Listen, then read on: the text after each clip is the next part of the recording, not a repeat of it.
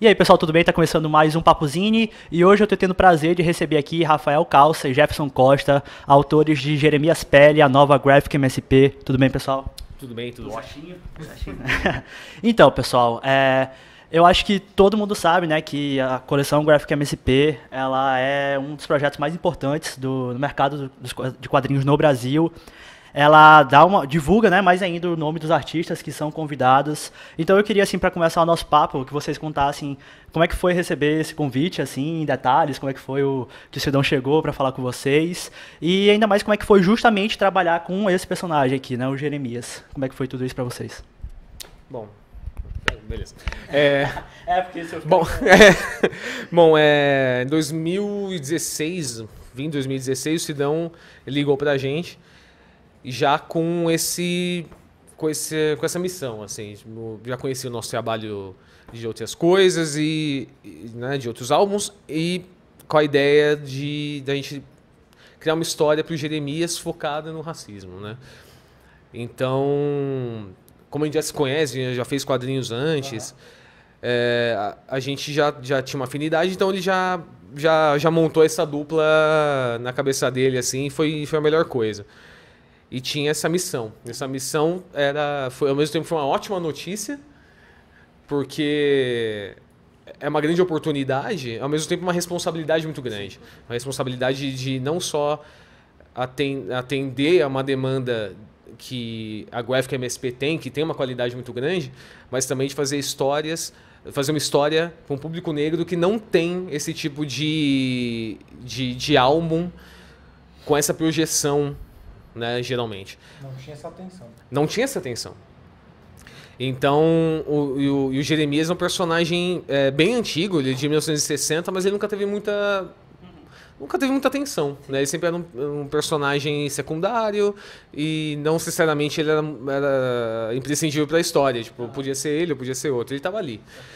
Agora ele tem uma história só dele, então foi uma responsa muito grande, assim. Mas a gente não focou em fazer uma, uma, uma, boa história, não ficar tão preocupado assim é, com a resposta, que senão a gente ia travar e não ia conseguir fazer. Então, eu não sei se vocês já trabalharam, já tiveram essa experiência de trabalhar com, com um editor, assim, é, como é o papel que o Sidney Guzman faz nessa coleção, alguém que acompanha ali o passo a passo da produção. É, eu queria saber como é que foi justamente essa parte do trabalho ali, de, porque a gente sabe que a coleção das Graphic MSPs, ela é ali direcionada, né, ela é, tem ali as suas restrições, digamos assim, como é que foi desenvolver a história a partir disso e a relação também com, com o Sidão e tudo mais, como é que foi desenvolver a história a partir disso? Bom, com o Sidão foi muito bom. Teve uma, a gente teve uma liberdade muito grande, assim, é, a partir do momento que eu entreguei o argumento e também que o Jefferson entregou os primeiros character design, não houve alterações na história, não houve alterações no character design, a, a, a história que a gente queria contar, a gente contou, eu acho que eu, particularmente no roteiro, estava mais preocupado em não fazer uma coisa muito chocante, nem Sim. muito forte, nem muito cabulosa, porque é MSP. Uhum. Mas ao mesmo tempo ser verdadeiro, ser, uma história honesta. Uhum. E, mas é, em nenhum momento o, o, o, Sidney não gostou de alguma coisa. Pelo contrário, ele estava muito interessado em que fosse uma história verdadeira. E, e, e para mim, dentro de um, eu nunca tinha trabalhado nesse esquema, então foi muito surpreendente ter essa, essa liberdade de contar a história que a gente achava necessário, no tom que a gente achava necessário para esse formato. Então, é, ele acompanhou todas as etapas, desde o argumento, a gente discutindo o argumento, a narrativa, a gente conversando e tudo mais. Mas em nenhum momento foi uma coisa do não faça isso. Uhum. Isso não é MSP. É, até porque tem muito disso, né? Ele, cham, ele chamou ele chama artistas. Pelo que você já fizeram. É, pelo que a gente já fez, pelo que, pelo que tem a nossa cara. Então, ele está sempre aberto a, ao que a gente su sugere. Houve algumas sugestões, alguma coisa. Você não acha que é melhor fazer isso diferente ou aquilo diferente? A gente conversava e chegava num consenso. Mas, no geral, o consenso era o que a gente já tinha feito. então, no, no, no, no, no, geral, foi sempre. É, e, e ele é ótimo. Tipo, ele é muito aberto, ele é muito ele é muito nerd, ele tem sempre as referências, ele, ele é muito atento nos detalhes. Foi, foi, foi, bem, foi bem tranquilo. Eu fiquei. Eu, eu, eu, já conheci ele mais ou menos, de conversar um pouco e ver algumas entrevistas, de ver como o cara era tranquilo, mas foi uma surpresa muito positiva. Ah, já. eu já tinha trabalhado com editores, meu trabalho com o Sidão foi mais tranquilo. É, e até por um ponto que até ele abriu né, no, no, no dia do lançamento, que ele nem ficou tão à vontade de editar tanto, né? Ah, e, e, convidou um, um, um, leitor sensível, um leitor né? sensível né, negro também para ajudar ele nesse sentido.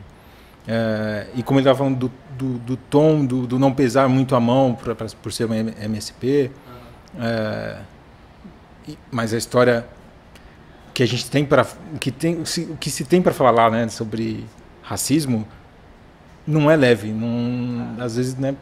E a sacada bacana foi a gente encontrar essas duas camadas de fa falar com o leitor, a criança que vai acompanhar mais a, a e tratar as coisas mais sérias na camada da história com os pais, né? Isso é uma coisa que ajudou aí a, a formatar esse, a, a história, né? É um, feedback muito bom que a gente recebeu. Um feedback muito bom que a gente recebeu foi de é, adultos que já são pais, porque a, a, a pessoa consegue ter a lembrança de ser uma criança negra e passar por as eh, situações que Jeremias passa e agora ter filhos. E tá no papel de pai, que nem os personagens dos pais estão na história e ter que explicar certas coisas. Então foi um feedback muito bom. E é um sinal de, de sucesso nessa nossa tentativa de, de, de, de criar essas duas camadas. Porque agora, tipo, como adultos, você consegue ter essa, essa, essa, essa noção mais madura e de como dizer ou, e, como, o, e o que não dizer. A forma de abordar melhor para uma criança. Não foi uma coisa pedagógica, foi uma coisa nossa de vivência. Não teve uma noção pedagógica da coisa. Mas nas, duas faixas, né? nas duas fases, mas tem uma, mas tem coisas que não são legais, não é legal falar. Sim. Sabe, é uma pressão que você coloca às vezes numa criança de entender logo como o mundo funciona, que não é justo. Né? Como adultos a gente entende melhor, só que você não pode empurrar isso uma criança de 10, 11, 12 anos. Então, é, a resposta que a gente está tendo do público é muito boa nesse sentido também. De, é, tem muita gente que fala, nossa, me identifiquei, gostei muito. Mas quem já tem filhos trouxe uma camada para o feedback uhum. que a gente fica muito satisfeito. É, daqui a pouco a gente volta para os bastidores, assim, da parte da produção mesmo, porque o pessoal que acompanha adora saber sobre esses detalhes, assim. Mas indo já para a história, aqui a gente acompanha o Jeremias é, passando ali por várias situações, sofrendo com racismo em várias situações. É, o próprio pai dele, a família dele também sofre com isso. É, e nos extras, é mostrado que vocês trouxeram muitas coisas da vivência da vida de vocês para a história. Eu queria que vocês comentassem um pouco sobre isso, como é que foi colocar tudo isso aqui nessa graphic. Bom, acho que o contar histórias, você conta a partir de vivências. Não importa a história que seja. Pode ser uma história muito louca, pode ser uma história fantástica, pode, pode ser alta fantasia. Uhum. Você tem um nível humano de identificação que a história vai trazer. Nesse caso, é uma história humana, uma história é, mais simples nesse sentido. Então, é, nem foi nada tão forte, mas foram lembranças, lembranças, lembranças bem específicas que, que a gente discutiu uh, antes de começar a faz, de eu começar a fazer o argumento. É, algo que o Jefferson passou na escola, algo que eu passei na escola, algo que a gente passou como adultos, para colocar no, no, na pele do, do pai do Jeremias, o Alexandre. É, as mulheres das nossas vidas, para colocar um pouco na Carolina, mãe do Jeremias. Uhum. Então, essas, essas, essas é, lembranças enriqueceram a história porque elas, são, elas não são só nossas. Elas são de, é, básicas de qualquer pessoa negra. Então, tem, tem essa, essa verdade na, na história, coisa que a gente passou. Não haveria como não ser desse, dessa forma. Não tem como. Não, é, é isso que a gente tem para contar e nós somos quadrinistas, então é isso que a gente tem para contar em quadrinhos. Então foi fácil e foi difícil.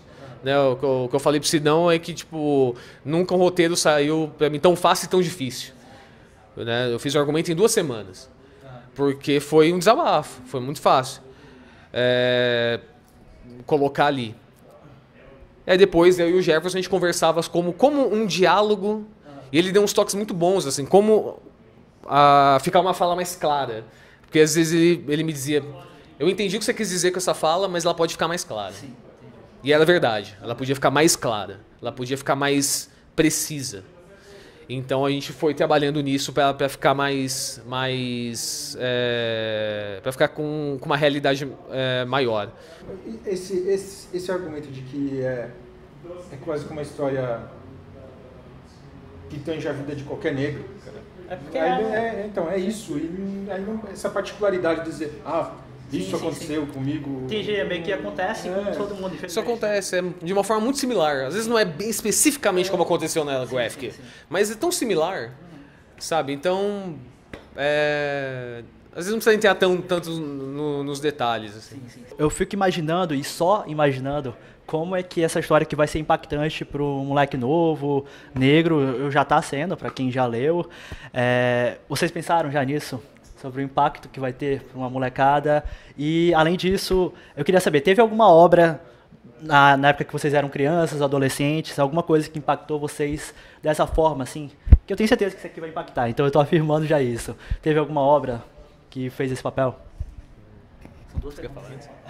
Não, eu vou pensando. Vai lá, vai lá. É isso que eu ia fazer.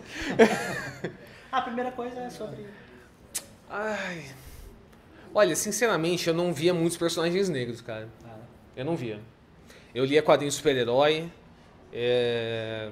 Eu lia bastante quadrinhos super-herói, assim, o que dava, né? Eu não lia muitos, né? Tipo, você tinha que focar em algum um pouco mais para conseguir ler.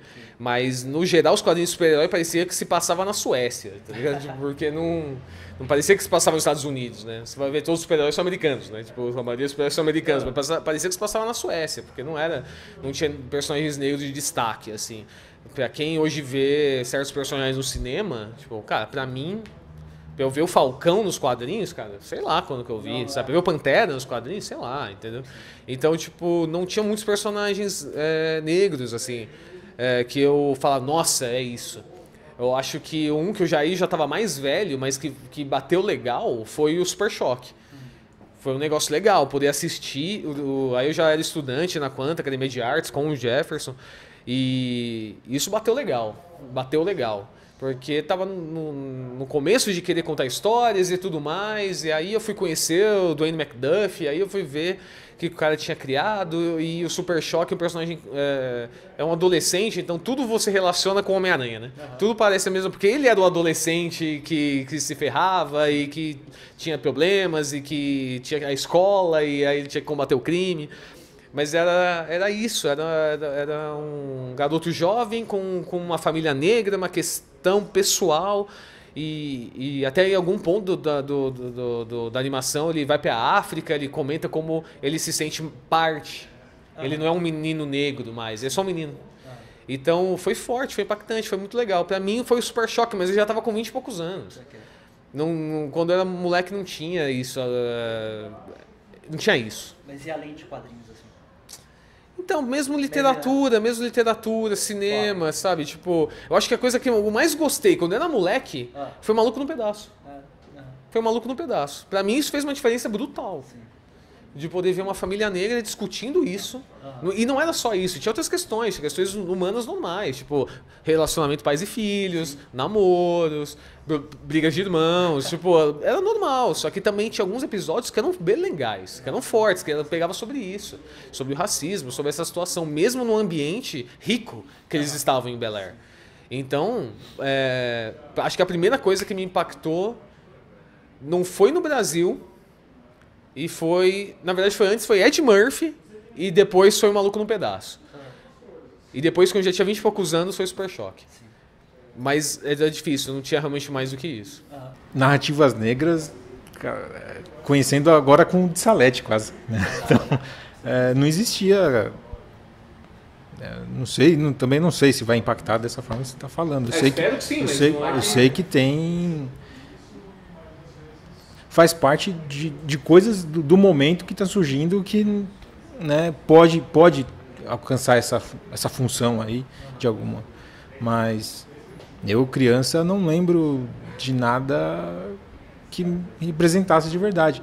Até como eu já falei, o Jeremias eu não consegui enxergar ele nem como personagem, quando, quando eu via, tá, às vezes, com a Turma da Mônica, não enxergava ele nem como personagem secundário, como já como coloca, ele faz parte do núcleo de person personagens secundários. Ele era um figurante. Figurante que, que de vez em quando colocaram ali. Não, é, agora, sai dos quadrinhos, aí é, as mesmas referências aí, né, tipo Ed Murphy, o Tira da Pesada, o Maluco no Pedaço. Então, e aí, mas mesmo assim, mas o Maluco no Pedaço fica uma coisa ainda. É, não, tô vontade de ver de novo, é muito bom, cara. É, o Maluco no Pedaço ainda assim criava uma distância, porque não, essa realidade não, do negro, é, do negro rico, negro rico, negro rico americano, não, é, tipo, é outra coisa. Não, não, não, não caía assim, é, né? não engolia de verdade. Que falava de um ponto específico, aí você falava, Sim. ah, tá. É, você só se identifica quase com, com os problemas. É, não, você se identifica com o. Ué, fugiu o nome dele? Will Smith. É. É, você, você se identifica Smith, com o Smith, porque cara. ele vem de um bairro pobre, uhum. ele é. vem de uma outra realidade. Ele é o olhar estrangeiro. É. Ele tá olhando Bel Air como um lugar muito diferente. E é pra ele. Uhum. E, você não vai se identificar com o Carlton. Você não vai, entendeu? Tipo... Ele vira piada. Ele é piada, é. Mas, você falou aí sobre o Jeremias ser ali praticamente um figurante né, na turma da Mônica. Como é que foi pesquisar as histórias dele, as participações dele para produzir isso aqui? Foi complicado? E aí, partindo disso, já comenta um pouco aí sobre como é que foi a produção em si. Você pensou o roteiro, a parte do, do character design assim, dos personagens, como é que foi tudo isso? A pesquisa foi muito rápida, foi, tipo, foi muito fácil. Ele tem um, uma característica específica que é cânone, é, que ele tem um boné vermelho é, que foi é, ganhado do avô. Sim. É isso. Isso é cânone. Acabou. É só isso. É, então, pensei, tá, na hora de fazer o, o, o roteiro, eu coloquei isso. Uhum. A forma que ele ganha esse boné, que vem do avô, tá na história. Isso faz parte integrante do, da história. É, intrínseca da história. É, de resto a gente inventou. Uhum. Pais, gostos pessoais, escola. E a gente amarrou com as outras gráficas da MSP. Que, eh, criando, às vezes, um universo mais coeso, que às vezes não tinha tanto. A, a o Mônica Força, da Bianca Pinheiro, ela já tinha brincado um pouco com a outra graphic. Uhum. Tem uma hora que ela brinca com a, Lições dos Irmãos Cafage. Mas é um quadro. Nessa a gente brincou um pouco mais é, no caso com o astronauta. E também com os Cafage, e também com a escola que aparece no Lições, a escola do bairro das Pitangueiras.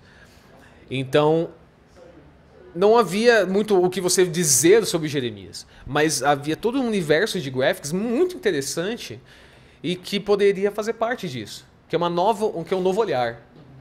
Então eu, na, eu, já, eu já, já, tinha, já, fez, já fiz um quadrinho com o Jefferson, que saiu em, do, saiu em 2005, chamado Feliz Aniversário, Feliz Obituário.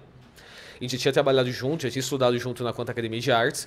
Então, e já, obviamente, por ser amigo dele, já acompanho o trabalho dele, então a narrativa ficou por conta dele. Eu fiz um roteiro aberto, deixei para ele fazer a narrativa do jeito que ele achava se melhor, porque seria muito melhor do que qualquer coisa que eu fizesse. Ele tem uma narrativa muito boa, muito fluida. Então, tá, é um roteiro aberto que, que ele tomou as decisões da narrativa. É, então eu fiz um roteiro aberto com diálogos finais e ele fez a narrativa. Enquanto isso, a gente estava trocando bola com o Sidão para mostrar, para ver qual era, né? Então, o legal dele falar da narrativa é que, na verdade, é isso que é o que me motiva para contar uma história. Para fazer quadrinhos é minha preocupação com o desenho é a narrativa, não, não é um desenho legal. Eu fico até feliz, pessoal, falar, ah, tá um desenho legal, um desenho bonito. Não é a, a intenção passar longe disso, né? É, ter o compromisso com contar a história, com levar a história para frente, narrar mesmo, né? Então, como eu falando, né, ele fez o roteiro, ele disse o, o quê. E na narrativa eu vou com o como, né? E aí, mais por aí.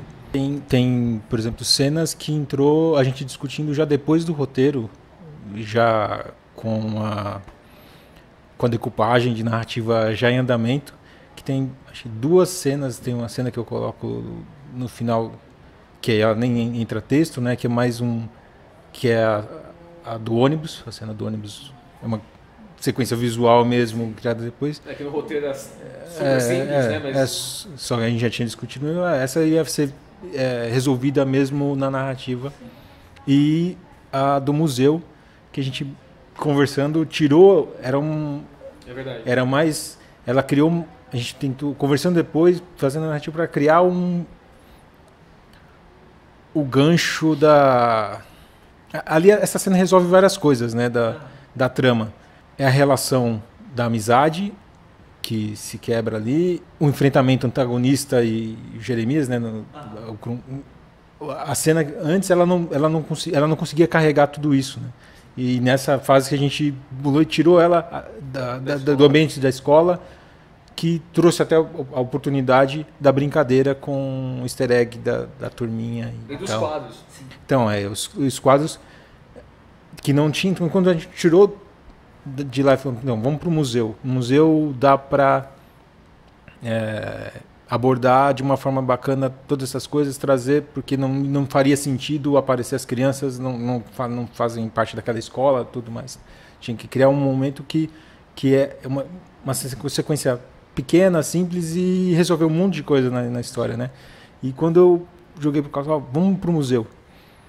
Beleza, vou atrás de referência uh, de artistas negros, né, e tal. Aí ele fez a pesquisa e trouxe, olha, esses dois quadros aqui, é, vamos trabalhar com eles. Aí eu falei, pô. E agora esse que ele trouxe da briga de galo, falei, bom, então esse quadro já vai para fechar a sequência do confronto, né?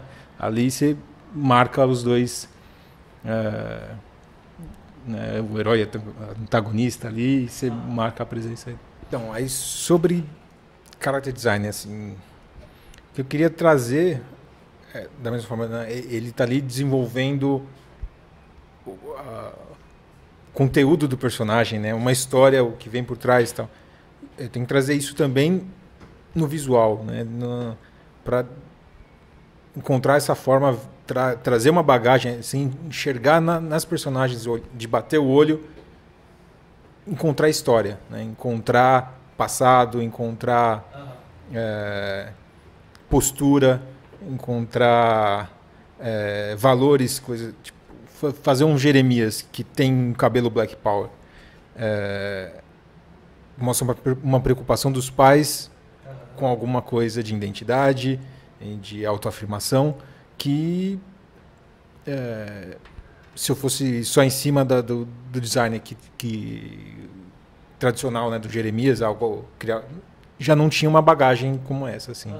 Então, eu não pude ir no lançamento que vocês fizeram recentemente aqui, que teve até o bate-papo, vocês, o Sidão, o Emicida, mas eu vi uns trechos no canal HQzaço que o Sidão falou que geralmente as Graphic MSPs elas são influenciadas pelas revistas de linha da Turma da Mônica, mas nesse caso aqui vai ser o caminho contrário. Vocês fizeram uma história tão, tão importante que essa história vai influenciar as revistas de linha. É, provavelmente com uma tendo agora, a partir de agora uma representatividade negra mais forte. É, como é que vocês enxergam tudo isso? Bom, legal que o Sidão na escolha de, de fazer uma gráfica do Jeremias e propor isso para o Maurício e ele aprovar.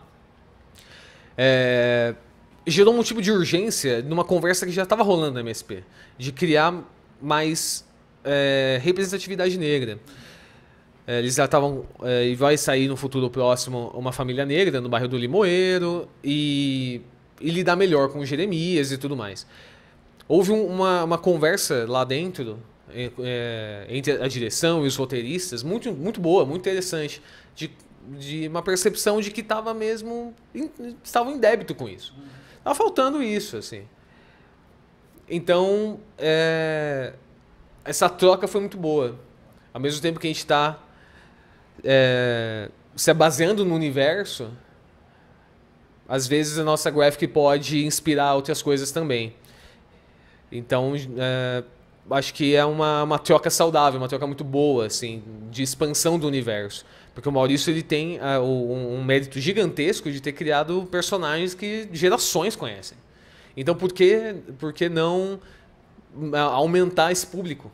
Né? Aumentar um público que vai, vai curtir mais ainda ler as histórias dele. Porque já tem um público que adora, mas pode gostar mais ainda e vai gostar. No futuro próximo, eu, eu espero que, que tenha isso, assim, que vá gostar mais. Legal. É bom poder contribuir, né? E se achar que, que, que valeu a pena a esse ponto de.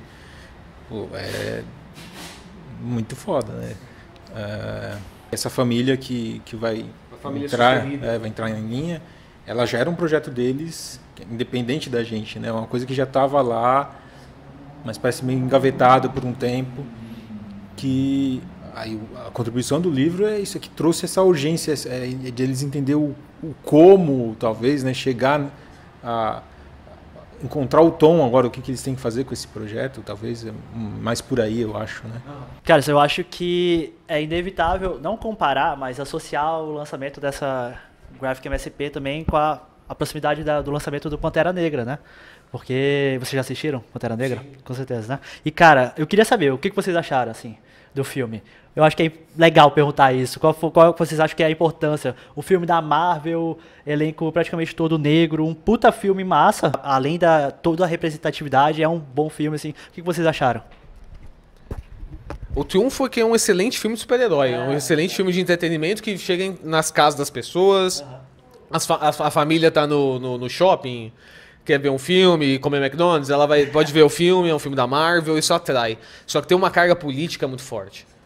É, obviamente, ele é um chefe de Estado. Né? O T'Challa é um chefe de Estado. Logo, é um filme político. É um chefe de Estado negro. É um chefe de Estado africano. De, um- de um país não colonizado. E seu antagonista é um, um- um primo, então vira também intriga palaciana, que é muito interessante, que cresceu num ambiente em que os negros foram escravizados. É, é, é, Toda essa carga política ela é muito im- importante, muito interessante, muito diferente do que foi feito antes em qualquer filme de ação. Então, é um filme ótimo, é um filme incrível, com um vilão que você se identifica, ainda mais se você for negro, você se identifica, você entende o que ele está falando, você entende as intenções dele, você não discorda totalmente, você fica no meio do, ah, esse cara tá certo, mas, é, ok, sabe, tipo, ele ainda é o vilão. É um filme excelente e, querendo ou não, é, ele veio na hora certa. Ele precisava ter passado por todo, antes, né? Ter passado por vários filmes para estabelecer um interesse do público para chegar no Pantera e ser um, um filme que teve mais bilheteria que o primeiro Vingadores. Isso é fascinante. Então, é, e é interessante só, só a graça de que é o 18º filme do, do MCU é a 18ª Graphic MSP em 2018. Eu acho super legal isso. Boa. Já assisti Os Vingadores e pra mim Pantera É, é o melhor ainda. Melhor. Melhor ainda. É... é um filme do caralho, né? Mas é, o que eu discordo do, do Calça é... Cara, eu não consigo enxergar... Eu sei que, eu sei que tem de toda a construção de personagem, você jogar... Colocou os, os itens pra construir nele o vilão, cara. Não, não, não enxergo que o Monger é o vilão. Ele, ele no máximo é o antagonista, mas ele não, Pra mim, não consegue vestir a, a carapuça do vilão. É, não. Não, dá, não, não cabe. totalmente mesmo. É, então. Por. Até pela conversa né, no dia do, do lançamento, o MC da abriu ali né, um conhecimento de, de, da mitologia africana para enriquecer mais o entendimento geral do que, do que é a construção de cada personagem ali. E é, é, é fácil para o olhar ocidental pintar no, no Killmonger o, o vilão. Entendeu? Esse é o. para qualquer tipo de revolta ou, ou ação militar contra o colonizador, é, ser taxado de vilanismo, de terrorismo, né? É, e por que que o colonizador faz guerra em todo canto e ainda é mocinho, né? Que é o, o ponto de que eu não consigo atribuir. É, é, ainda é o mocinho. Então não consigo atribuir a, a- não é nem a motivação, é o meio que ele escolhe, né? A motivação de- de- Não, é ninguém discorda, válido, ninguém totalmente. discorda, né? Mas o meio que ele escolhe fazer tu, é, tornar ele invalidar todo o discurso e tornar ele o vilão para né? É mais por aí que eu, que eu enxergo a personagem. A, a, a coleção Graphic MSP também tem muito papel assim de apresentar os quadrinistas, os autores para um público que não às vezes não é tão aprofundado assim em quadrinho nacional, não conhece tanto as obras, o mercado assim. Então eu queria deixar um espaço aqui no final do vídeo para vocês comentassem, que vocês comentassem um pouco sobre alguns outros quadrinhos que vocês já fizeram. Por exemplo, eu li recentemente o Jockey, que você fez o roteiro, é, eu já li o La Dançarina, que, for, que você desenhou. Se vocês pudessem falar um pouquinho aí sobre algumas outras obras que vocês já fizeram. É, eu tenho mais outros dois quadrinhos, que é o Jockey, que é o desenho do André Aguiar, saiu pela Veneta. Ele se passa numa, numa São Paulo mais fictícia, assim. Uma história meio baixa fantasia, que é, muito se passa no Jockey Clube de São Paulo, em que alguns personagens estão atraídos por, por várias questões nesse jockey é, sem saber que, algum, que existem forças sobrenaturais ali nefastas né, contribuindo com a alta sociedade. Então, é, é um noir, basicamente é um, é um noir, mas é, mas é brincando com fantasia também. Em 2016 saiu Crônicas da Terra da Garoa, com desenhos do Tainan Rocha, que saiu pela editora SESI. É uma história bem curtinha, é, que eu fiz com Taina Rocha, que, que ela é mais uma situação, né?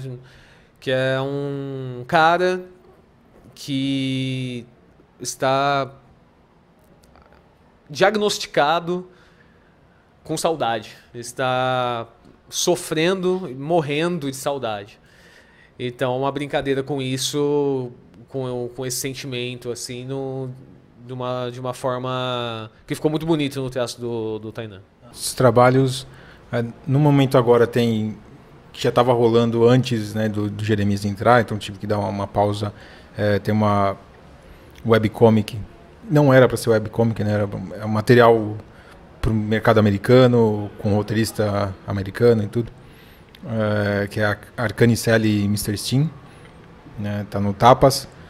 Uh, antes veio La Dançarina, né, com Lilo Parra. Com Lilo também fiz Tempestade, que saiu pela Nemo. No mesmo ano saiu com a Marcela Godoy o A Dama do Martinelli, pela Devir. Participei de várias coletâneas, é, Bang Bang da Devir, que era o Gun Down. A coletânea teve uma na Image, que é a Outlaw Territory, o 3. É, e os quebra-queixos do, do quebra-queixo tec, Tecnorama, do é Marcelo Campos. Participei dos três volumes. O Fim do Mundo em quadrinhos, é, da Quanta também, isso é pela Devir. Aí eu faço a história com a Marcela Godoy de novo. E tem o Front, que aí foi a história que fizemos juntos. Uh, Front 16, é isso? Sobre morte. É, é e aí a história. Acho que é por aí. É isso. Beleza. Então é isso. Obrigado, pessoal, pelo tempo de vocês. Então, Jeremias Pele e mais essas outras obras aí dos caras que eles já falaram aqui. Valeu, pessoal. Espero que vocês tenham gostado do vídeo. Valeu, até a próxima. Esse conteúdo só foi possível graças aos colaboradores do Papuzine no Apoia-se. Se você também quiser contribuir para que o Papuzine continue com esse conteúdo sobre quadrinhos, entrevistas, coberturas de eventos, perfil quadrinístico, HQs e negócios, vá em apoia.se barra Papuzine e colabore com o valor que você puder. Tem recompensas, entre elas sorteios de quadrinhos e sketches e a sua ajuda é muito importante para que o Papuzinho continue existindo da maneira que ele existe hoje. Então é isso aí, eu queria agradecer mais uma vez aos colaboradores do canal. Valeu, até a próxima.